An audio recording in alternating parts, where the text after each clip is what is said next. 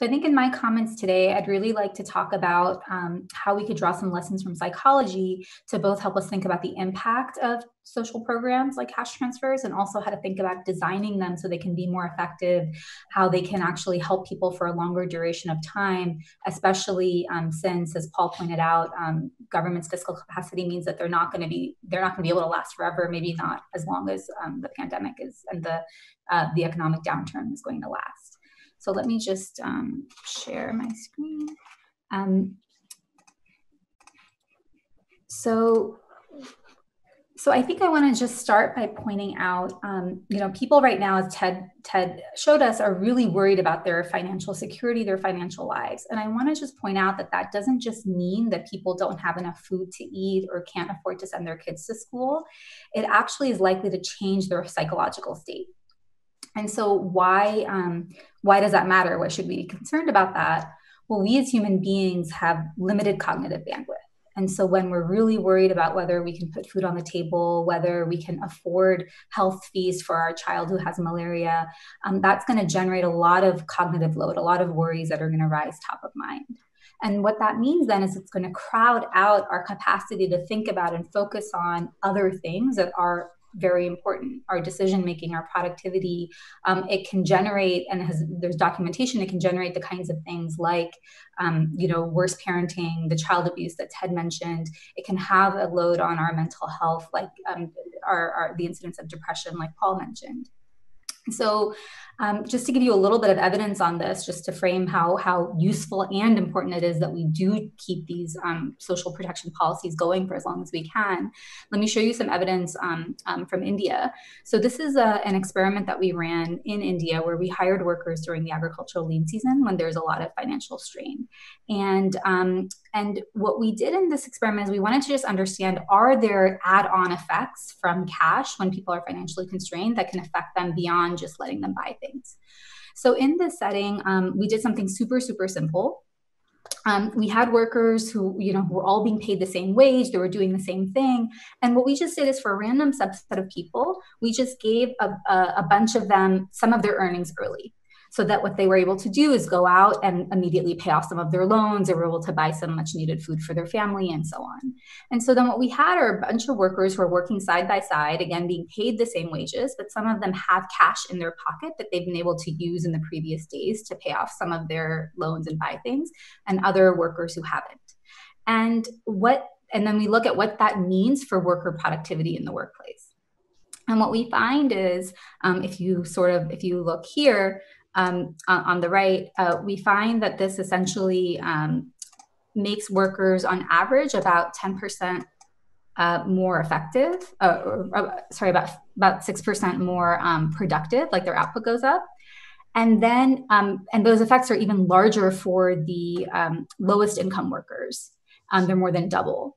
And then when you think about where these productivity effects coming from, given the type of task workers were doing, we can actually look to see is it just that they're working harder or is it that they're working smarter? And what we find is there's a massive reduction in the amount of mistakes they're making at work, things that require them to do and then undo the work that they did. Um, and these kinds of attentional errors plummet. So they go down by about 0.1 standard deviations for everybody. For the poorest workers, again, double that. And so because they're more focused at work, they're able to actually um, make less mistakes. That translates into an increase in their productivity. So that's another reason to, to really take the, the need for these kinds of social programs seriously that, um, that they can affect things that actually then enable the poor to get themselves out of poverty. So that's great. Um, but the, the way that programs are being implemented, I think, do present some challenges and causes for concern. So to start with, I think we have to think about what is the what is the goal of of um, cash transfer programs. So one thing, of course, is that there's a need for immediate consumption. So people need to be able to go out and buy food, books, pay for health shocks, and so on. But because these transfers are given out and then people need to use them over some course of time a month, two months, three months, maybe even longer than that, because some of these programs are just going to end, um, they also need to be able to get people through the pandemic. And so those urgent needs that people have today for food, for clothes, for health fees are the same needs they're going to have a month from now. Um, and and in addition to that, there are going to be unexpected shocks. Kids are going to get malaria. Somebody's going to break their arms. Um, somebody's going to lose, um, you know, their business to a fire or so on. And so those, and so it's important that people are able to hold on to savings to take these transfers and spend them, but also save some of them for what will be needed tomorrow. And that's something that the poor just have a really hard time doing. So before the pandemic even started, if you just went to, to agricultural workers in India and you asked them, hey, suppose you had to come up with a thousand rupees for an emergency in two days. So that's about two weeks worth of income in our setting. How would you come up with it? And only 38% of people um, could finance it out of their savings people just don't hold a lot of savings. Almost everybody would have to have to borrow from a money lender or from or scrape it together from friends and relatives. So, what that means is, even at a time where people were coming out of the harvest season, they had earned a bunch of money. This was kind of like the normal year, and now they're, you know, in the lean season, there's not as much work. They quickly drew down on their savings and were left in a situation where they didn't, most of them didn't have savings if they needed to, to, you know, finance some sort of a shock. So, that's especially concerning because right now during the pandemic, people aren't going to have a ton of work opportunities. Even as the economy rebounds, it's not going to rebound fully, as Ted mentioned. So let me give you a little bit more direct evidence. Um, so this is something that we did where we, um, uh, you know, went to a bunch of uh, households in India and we gave them a thousand dollar windfall. So we transferred a thousand dollars in cash to them. Um, again, that's about two weeks worth of earning. And we did something to try to gauge their savings capacity. So we told them is if you can save this money for two weeks, and again, this is before the pandemic. So this is last year um, during just sort of a regular lean period. So what we said to them is if you can save this money for two weeks, we're going to give you a 40% return on it. So for every bill, a 100 rupee bill that you save, we're going to come back and give you 40 rupees in two weeks. So that's over a thousand percent, you know, APR to sort of put it in context. Massive return, massive incentive to save. What happens? About half um, the households spend some of the money, and one out of five households spend more than half of the money. Um, and you could look at that and say, well, look, this is a lean season. People urgently needed like the money for food and so on, and they did. And, and people didn't spend this money wastefully. They spent it on things that they needed for the household. But the point is, if they had waited two weeks and if they'd saved it, they would have had 40% more to buy those same things. So economists might look at that and say, well, that's super, you know, irrational. But the psychology of it is it's very human. When needs loom large, it's very difficult for human beings to be forward looking. That's not a fault of these people, that's the fault of the condition that they're in. Um, and to give you a sense, about 57% of people who did spend the money regretted not saving. So they themselves wish they had been able to save that money so they could have realized this, this return. So savings is hard. Um, and that's worrisome because when you get a lump sum cash transfer and you need to put it away, will you be able to? Let me give you a final example before I sort of go into some design um, ideas um, that is perhaps from a higher stakes natural setting that, that a lot of us are aware of. And this is the incidence of hungry seasons. So, take for example rural Zambia, where farmers harvest their maize once every year. And then, so they have a big pot of maize at the beginning of the year, and then they consume that maize over the course of the year until the next harvest. So, they have to make that last. And they do this year after year. But year after year, they run out too early. So the last two, three months of the year are known as the hungry season when, when people skip meals, they just don't have enough food, they're out of maize, so they have to kind of work odd jobs to scrape together money so they can go buy maize and eat it at home. And so this, so as a result, if you just look at the number of households reporting food shortages, it goes from about 17% um, in the beginning of the year to over to about 70% at the peak of the hungry season. So almost all the households in the economy are reporting food shortages. Um, and this again is a, is a failure of savings. It's hard to take a big pot of money and then make it last for that long. So, what can we um, do to help? What are ways to maybe help people take this big pot of money they have and have it stretch longer? And so, what we can do is we can build scaffolding using insights from psychology on top of transfers to help improve financial resilience. And I think psychology actually suggests a range of inexpensive interventions that can be comp- that can complement these kinds of policies. So I'm going to give you an example of just one from a study that we did. So um, to start with, when you you first have to start by saying, well, what's going on? What's going on under the hood to make it difficult for people who want to save and stretch their money? It actually makes it hard for them to do so.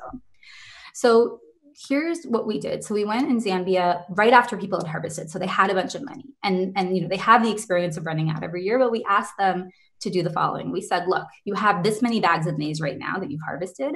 I want you to predict for me how many bags of maize will you have in three months? And then we actually are going to come back in three months. And if you were right, we're going to give you a prize. So this was incentivized.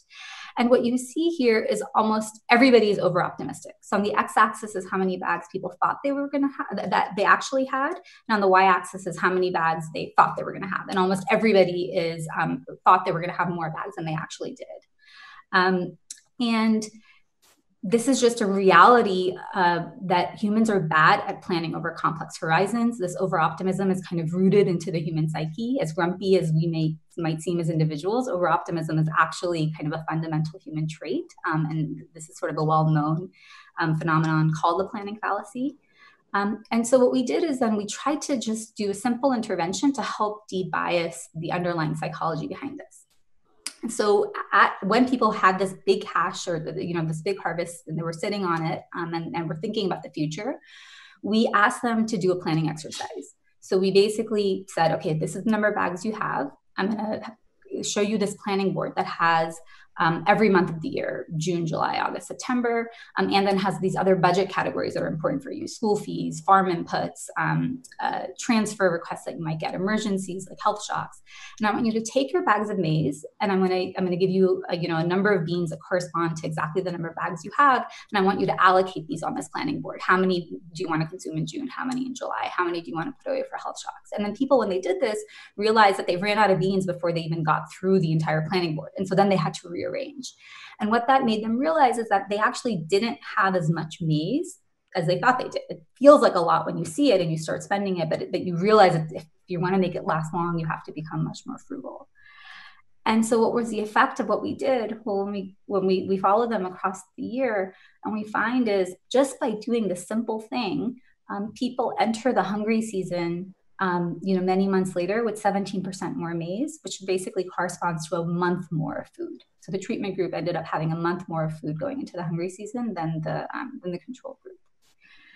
And so I think I sort of just this is just one example of how an intervention that costs nothing was able to take households a month further in in um, with the same amount of money, a month further in um, in being able to to consume and and, and you know and, and have um, resources at home.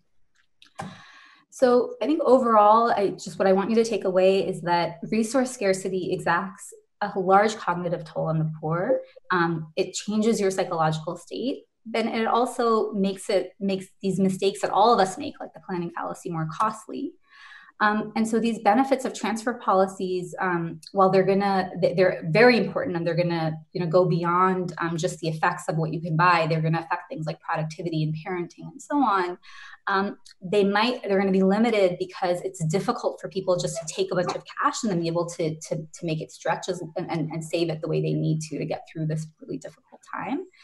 Um, but I think that really prevents, presents an opportunity where we can we can engage in financial design for the poor, where we can pair these kinds of policies with inexpensive psychological interventions that can have important impacts um, and and and um, and really help people make the most of what they have.